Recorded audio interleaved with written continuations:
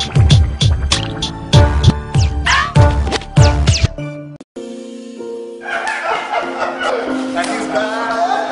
so, so, so, so glad to be back home. Happy birthday.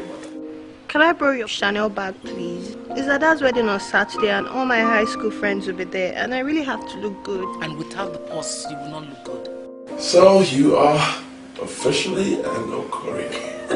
I want to get back all Chief Okori took from me. This is madman that used to move the gate.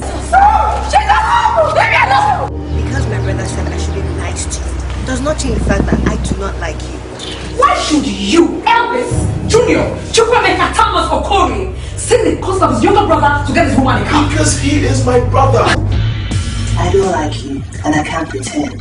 But because my elder brother said I should apologize to you, I'll try to reach you. How do you expect me to get another 2 million naira from Elvis? When the 10 million naira I sent to you, I can't give you anything.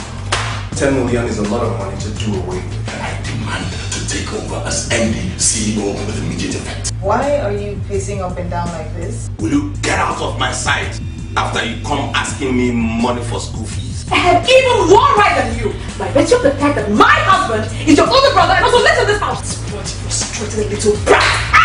Daddy, you have ruined me.